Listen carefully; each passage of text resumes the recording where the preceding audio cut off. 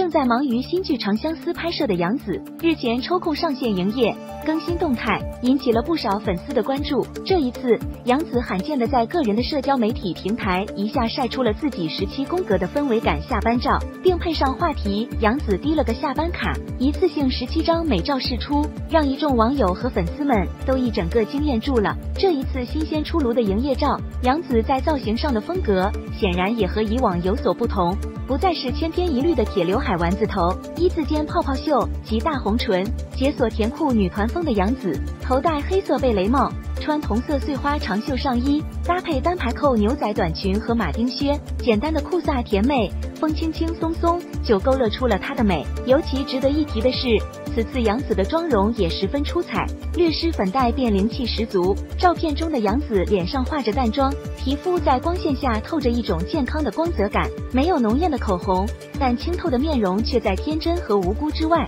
更将她的性感一点一点的偷出来。这一次软乎乎的可爱女孩，明显显现出浓浓的纯欲风，这扑面而来的性感。怎能不令人心动？仔细看，杨紫的眼睛里好像藏着一汪春水，搅动了多少人的心。不过，除了妆容和造型让人眼前一亮外，不少网友倒是被其中一张杨紫提着灯的照片中，杨紫手指的柔韧度给震惊到了。只见照片中的杨紫以两根手指提着一盏古灯，但她的手指却弯成了正常人无法做到的弧度。如此惊人的手指柔韧度，也是网友们看到都纷纷赞叹，杨紫的柔韧度也是一绝呀。刚才试了试，手指差点废掉。其实杨紫此前就在综艺节目《亲爱的客栈》萌探探探案中展示过他超强的手指柔韧度，彼时就让不少人惊艳到。如今神迹再现，只能说原来杨紫真的是名副其实的软妹啊！